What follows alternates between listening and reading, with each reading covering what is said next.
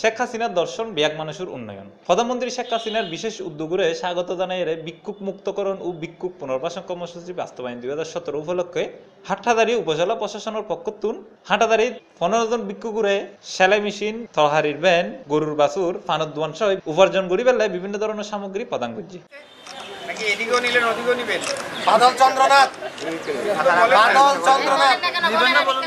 এই উপলক্ষে হাটহাজারী উপজেলার হলরুমের দিন এক মত বিনিময় সভা অনুষ্ঠিত হয় উপজেলা নির্বাহী অফিসার জনাব আক্তার উন্নেসা সভাপতিত্বে অনুষ্ঠিত ওই মত বিনিময় সভা প্রধান অতিথি হিসেবে উপস্থিত আছেন চট্টগ্রামের জেলা প্রশাসক মোহাম্মদ জিল্লুর রহমান চৌধুরী। এছাড়াও এড আরও উপস্থিত আছেন হাটহাজারী উপজেলা চেয়ারম্যান মাহবুল আলম চৌধুরী সহ হাটহাজারী উপজেলার বিভিন্ন ইউনিয়ন চেয়ারম্যান এবং এলাকার গণ্যমান্য ব্যক্তি। মাননীয় প্রধানমন্ত্রীর বিশেষ উদ্যোগ, ভিক্ষুক মুক্ত বাংলাদেশ।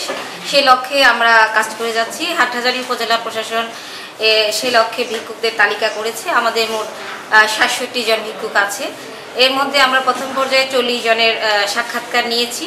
সেখান থেকে শারীরিকভাবে ক্যাপাবল পনেরো জনকে আমরা সিলেক্ট করেছি এবং তাদের ইচ্ছা অনুযায়ী পাঁচজনকে সেলাই মেশিন দুইজনকে এমনিতেই কাপড়, বিভিন্ন বিভিন্ন ধরনের কাপড় সে ঘুরে ঘুরে বিক্রি করবে।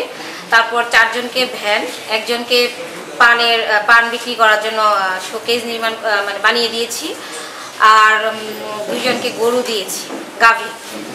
আর এই কার্যক্রমটা চলমান থাকবে। প্রায় তিন মাস আগ থেকে শুরু করেছি এই ভিক্ষুক পুনর্বাসন কর্মসূচি। প্রত্যেক উপজেলায় হচ্ছে। বেশ কয়েকটি উপজেলায় হলো। সম্ভবত আমরা দুশোর বেশি আজকে পর্যন্ত দুশোর বেশি হলো। এবং এটা অব্যাহত থাকবে। আজকে আজকে হাটাতে কয়জন হাটাজারিতে আজকে পনেরো জন দেওয়া হয়েছে।